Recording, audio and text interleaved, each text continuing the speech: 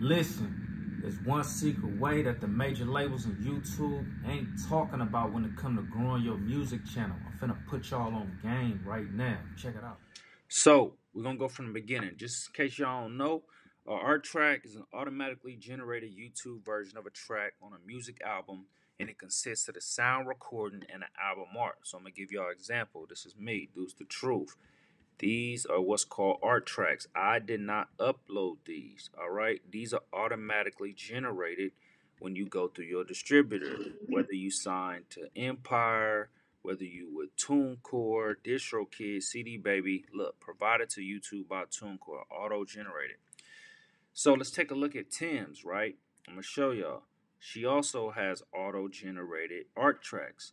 But I start noticing on major artists' YouTubes they actually upload the art tracks as well to their pages. So I'm like, man, what's the benefit of this? Like, why are they doing this? So I reached out to YouTube support and found out that releases that are auto generated, these don't count towards watch hours.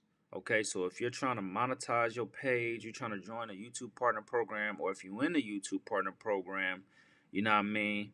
You need to be uploading your own art tracks, right? So you can fully monetize, right? Because once once you upload the art tracks here and you getting ads played behind it, then you're fully monetizing the video, right?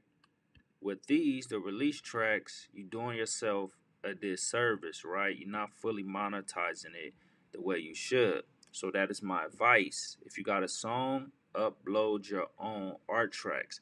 Now, there's a way to do this. If you're part of the YouTube Content Manager, um, excuse me, partner program, you can automatically do this by going here, Studio Content Manager, going to templates, you know what I mean, finding an audio, um, and actually uploading it, you know what I mean. You could do this in bulk, or you could do like me. I go, you know, film me in an iMovie, right? Here's my new song, Ducked Off. You know what I'm saying? I put the audio, I put the art track, you know what I mean? And I manually just uploaded it to my page so I could fully capitalize off it. Now the music video is out, all black. You know what I mean? Deuce the Truth ducked off. So check that out. Leave a comment if this helps y'all. Alright? Peace, love, truth. Boom.